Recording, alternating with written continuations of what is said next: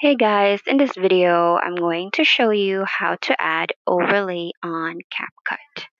Now, first thing to do is drag a video.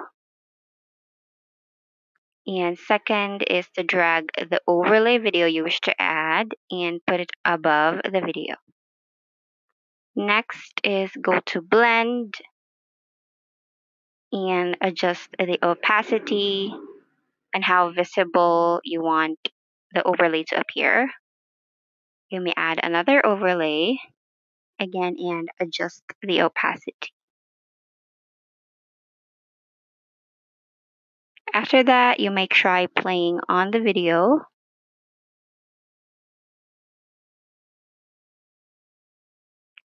And that's it.